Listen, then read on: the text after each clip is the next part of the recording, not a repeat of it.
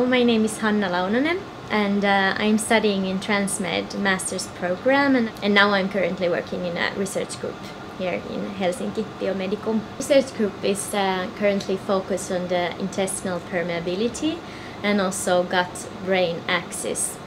And uh, previously I have been working also with the RAS system in the gut. Uh, I'm going to do my master's thesis next summer here in this group and we have already applied for some funding. There is uh, three younger researchers in our group and they are all part in this project.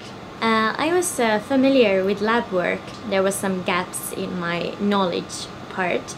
So then I applied to the Transmed program. It feels that it fills the gaps. We are studying anatomy and physiology that is very, very necessary to do research I think that this uh, Transmed program is very well organized and very nicely structured to support the research plans. And it's also very uh, focused on clinical side so which is very interesting. Well i think the studies are very well organized so it's quite easy to follow the structure. And uh, the level is quite high in the studies. I would say the teaching is good, and um, so I think the program provides the necessary tools to research.